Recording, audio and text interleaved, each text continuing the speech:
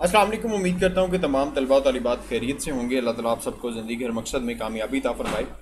Channel पे अगर नए हैं तो चैनल को सब्सक्राइब कर लीजिएगा, वीडियो को लाइक कर दीजिएगा और दोस्तों के साथ शेयर लाजमी कर दीजिएगा। अल्लाह ताला आप सबको ज़िंदगी हर मकसद में कामयाब करे।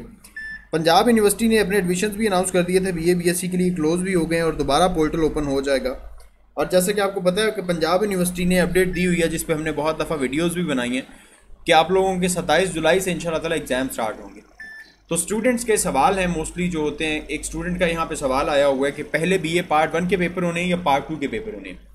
देखें बीए के पेपर जब आप लोगों के स्टार्ट होंगे, पहले अगर 2019 से पहले कोविड 19 से पहले अगर आप देखें तो फोर्थ ईयर के हमेशा पेपर पहले होते हैं थर्ड ईयर के पेपर बाद में होते हैं। लेकिन अब चूँकि जब से कोविड आया है और कोविड के बाद जब नए रूल्स बने हैं, उसमें आके जाके चेंजिंग हुई है टाइम की चेंजिंग हो गई, आप लोगों के एग्ज़ाम लेट होने लग गए।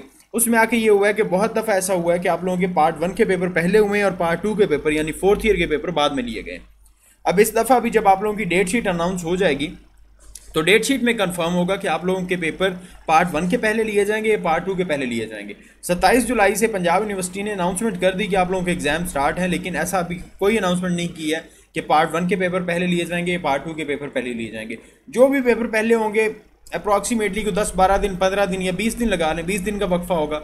जिन लोगों की कंबाइन है, वो उनका ये है कि पार्ट वन के भी अगर पहले हो गए या पार्ट टू के पहले हो गए, उनके तो पेपर स्टार्ट हो जाने और रहने ही।